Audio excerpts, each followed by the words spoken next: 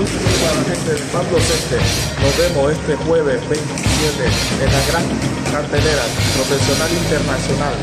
Gracias a Rambo, Profesional y alcalde. En Maca están invitados.